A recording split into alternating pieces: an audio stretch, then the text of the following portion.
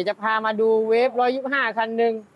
ชักอะไรไม่รู้แต่จะจริง ๆอะวันไอ้คันเนี้ยมันไม่ได้มาทำรถที่ร้านนะฮะมัน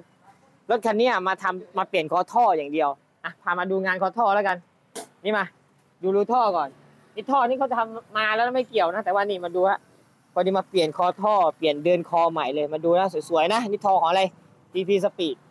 อะเดี๋ยวจะมาสตาร์ทในบางเสียงแล้วกันว่าเครื่องลองเดากันดูว่าเครื่องเสร็จสเต็ปประมาณไหน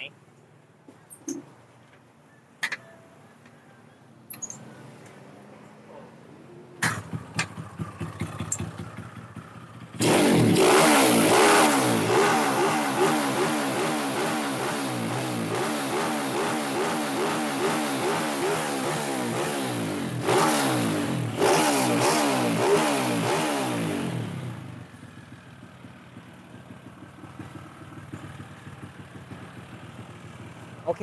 ประมาณนี้ส่วนก็งานพ่อก็น่าจะจบไปประมาณนี้นะ ส่วนงานอื่นพวกรถเวฟคันอื่นกำลังไล่อยู่นะกำลังไล่อยู่พอดีเพิ่งจับมาจากงาน NGO แล้วกันก็หลายคนถามว่าก็ไม่ได้ทำคลิปอยู่นะโอเค ฝากติดตามด้วยแล้วกันคันนี้จบแค่นี้ก่อนสวัสดีครับ